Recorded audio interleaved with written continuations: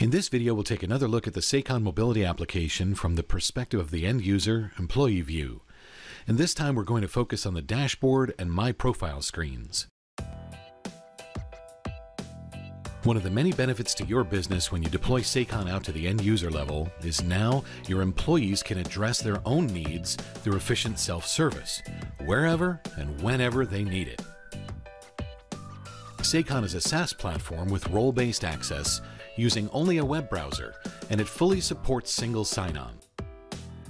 Once on the dashboard, employees have access to general information and announcements from your company, access to support desks in case they need urgent help, access to open their own support or procurement request, and access to detailed information about their devices, costs, services, and open orders. Say you have a question about your device.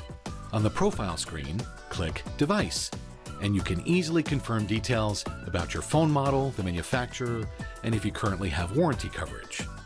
Have a question about your service line, your carrier, or your upgrade eligibility date? Just click Service and the details are right there on the screen. Want to make a procurement request? You can shop the device and accessories catalog by clicking the shopping cart and choose to add or change services from a variety of order types. How about understanding costs? Sakon has that covered in rich detail. An employee's monthly costs are presented three ways. First, employees can see their total mobility costs as a monthly total. For more detail, click the total amount and then expand to show a breakdown of costs by charge type. Want even more detail? Click Expand All in the menu and you'll see a listing of all costs by feature. As you can see, the employee dashboard and profile screens are both powerful and useful.